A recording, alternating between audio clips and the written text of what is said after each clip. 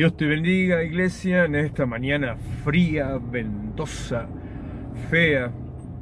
Ahora nos dimos vuelta, más que, más que otoño ya parece invierno. Pero acá estamos avanzando en el propósito del Señor, cumpliendo su voluntad, intentando cumplir su voluntad, haciendo lo que hay que hacer.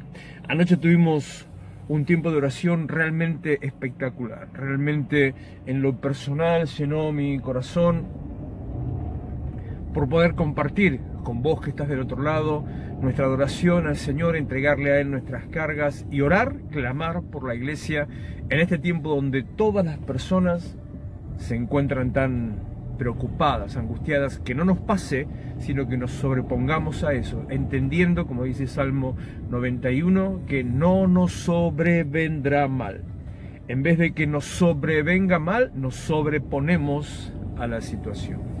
Decía en medio de la oración, esto lo puedes encontrar en Génesis capítulo 16, eh, parte de una historia, conocida historia de la palabra del Señor, decía, Él es el Dios que ve.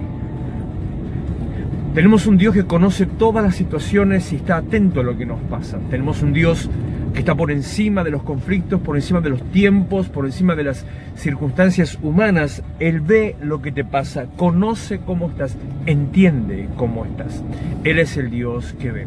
No tengas temor, no te preocupes, aunque las cosas parecieran que están descontroladas, Él sigue siendo el Dios que ve. terminábamos la oración con una declaración de una canción que estábamos escuchando. Él es el fuerte en batalla. Él no conoce derrota.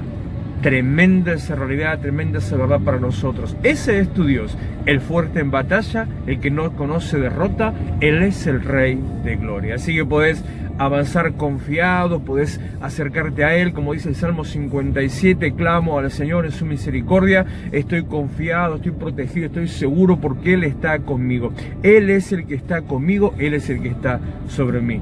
Recuerda, no te sobrevendrá mal y no, no habrá plaga que tocará tu morada. Él sigue siendo Dios, Él sigue siendo fiel. Gracias por estar ahí.